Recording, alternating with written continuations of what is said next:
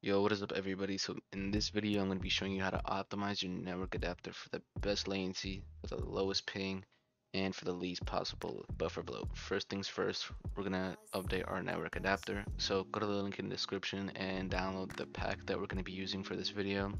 And once you have, have it downloaded, extract it, and you should be left with this folder. We're going to update our network adapter. Double click the first folder, double click this, and you just want to run SDIO underscore auto dot and basically what this is it's a tool where you could find all the drivers that you need for your PC and most of these you don't really need. You just need your ethernet adapter. And if you want you could update your Wi-Fi as well.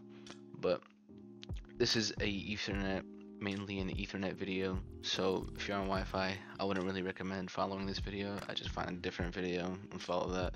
Switch to ethernet you could get a power line adapter or you could just move the router next to your PC but either way you want to check your ethernet adapter click install right here and it'll start downloading the driver that is most recently updated for your network adapter.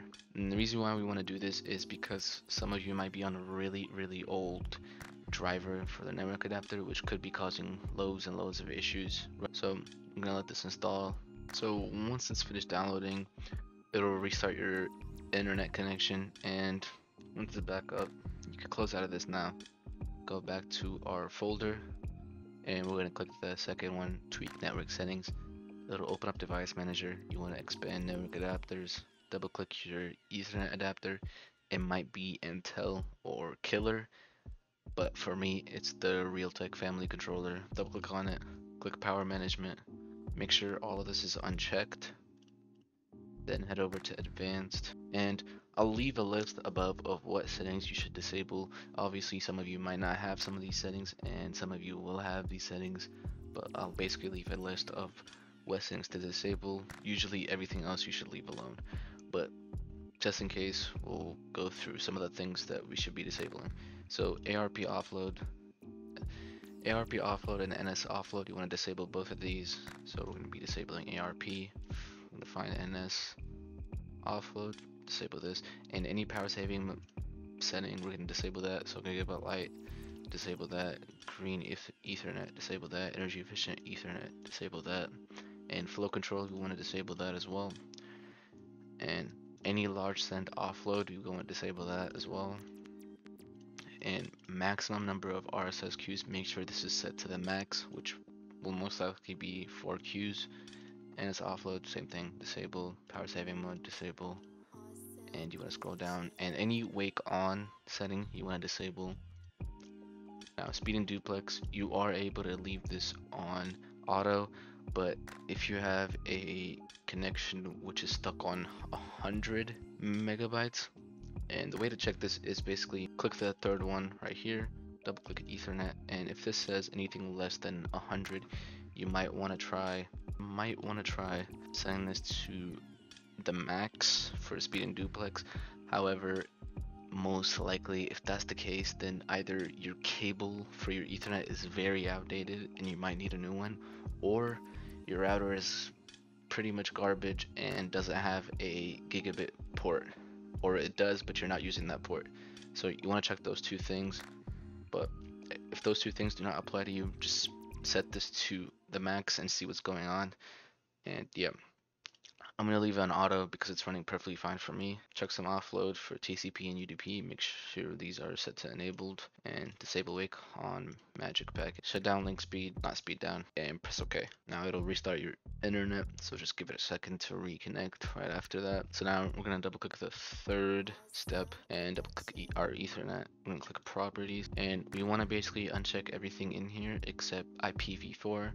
Now some things will not show up for me because I have a custom OS. This is my Xilly OS and if you want it, book my advanced PC optimization service which comes with a load of other things from all the way from BIOS optimizations to recommending you hardware for your PC.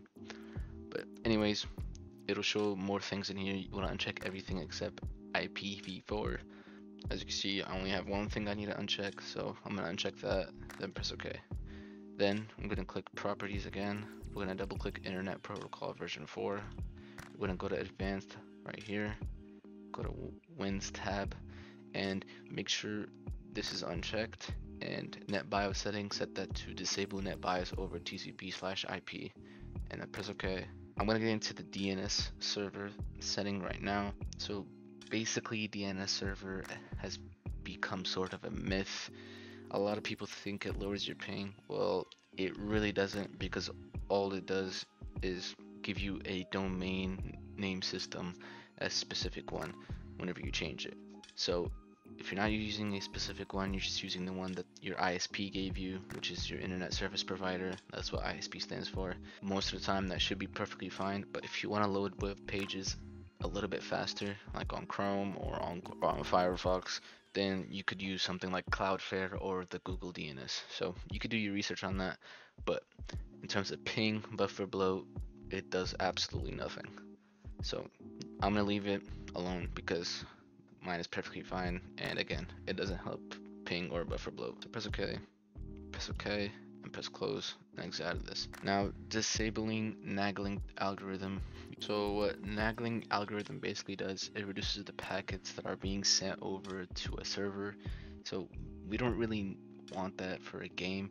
We want it always sending information. You want the lowest latency possible. Double click on disable nagging algorithm and it'll apply the registry keys that are required to disable this algorithm. So once it's done, just press a key and that's pretty much it for this step. We're gonna go into a little bit of a mini step right here. We're gonna be testing our buffer bloat. Head over to the second link in the description, which should take you to the waveform buffer bloat test. And this test is really helpful because it really tells you what buffer bloat is and what things you should check before starting the test, what causes buffer bloat, and how to fix it. Most of the time, it's your router or your internet is just really bad to the point where you have buffer bloat no matter what router or modem you have. Most of the time, it's your router and sometimes your cable ethernet and rarely it's your network adapter. If it is your, ne your network adapter, it's most likely because it's a killer Ethernet network adapter, and that one's really garbage. They put it in the pre-builds for Dell and Alienware PCs and some of the other PCs I've seen use killer. It's a really bad quality internet adapter. So if you want a quality network adapter that has lower latency than the one on the motherboard, I'll leave a link below to the i210 network adapter some of the pros that play, for example, Fortnite use it, and they say it helps them with taking walls. But obviously, take this with a grain of salt. They could have had a really garbage network adapter before, and now they're on a really good one, so they have lower buffer bloat. But yeah, that is one of the ways to improve buffer. We're gonna start the test and let it do its thing.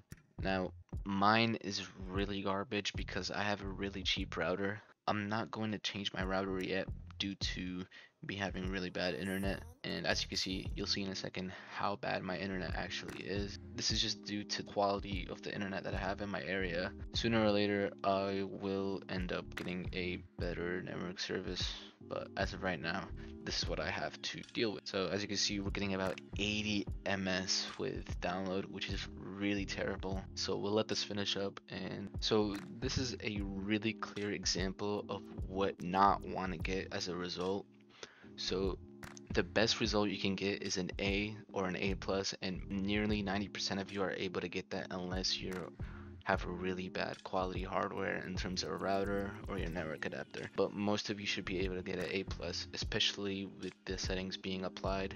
But as you can see, some things are just limited by your hardware and whatever you do onto your PC, it might not help, but you just need to upgrade your hardware eventually. In my case, I need a better router. It should fix all of this. Should be getting an 8 plus right after that. Use myself an example, and basically the routers that are really bad are from your internet service provider. If you're paying monthly for a router from your internet provider, like for example Spectrum, Xfinity, Comcast, those are going to be lower quality and they're just trying to rob you, basically.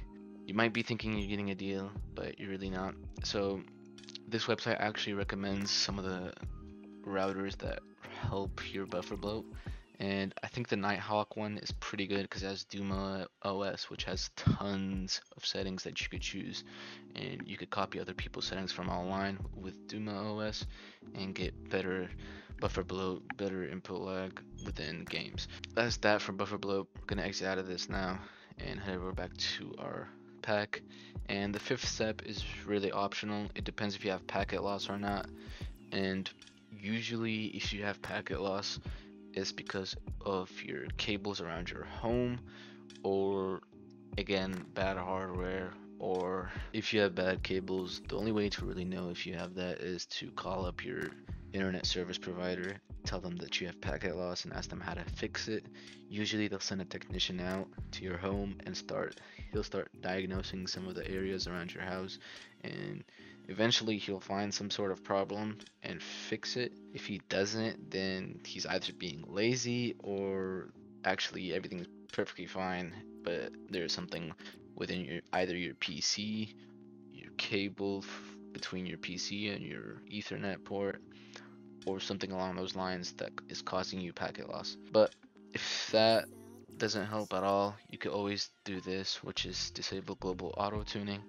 Now, I'm not gonna get into depths into what global auto tuning is. You could Google that. It's pretty simple what it is, but some games really need this enabled. So if you're playing Fortnite, do not disable this. If you're playing any other game, try disabling it. If it doesn't help at all, just keep it enabled.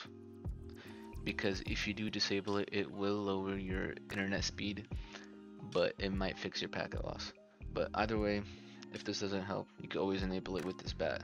So for example, if you want to disable it, you press 2 on your keyboard, press enter, and it'll apply it, and then once you press a key, it'll disable, it'll exit out of the bat. So if you want to enable it, press 1, press enter, and press a key to exit out. And yeah, that's pretty much it for this video guys. If this helped you, leave a comment and make sure to like and subscribe. And if you need anything else, comment down below. I'll try to help most of you. I usually read all my comments, or try to. But anyways, have a good one.